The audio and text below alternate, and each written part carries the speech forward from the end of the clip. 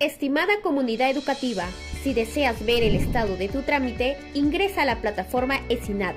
Haz clic en Seguimiento, selecciona la entidad y busca tu solicitud en la parte inferior. Puedes buscarlo con el número de expediente o mostrar todos.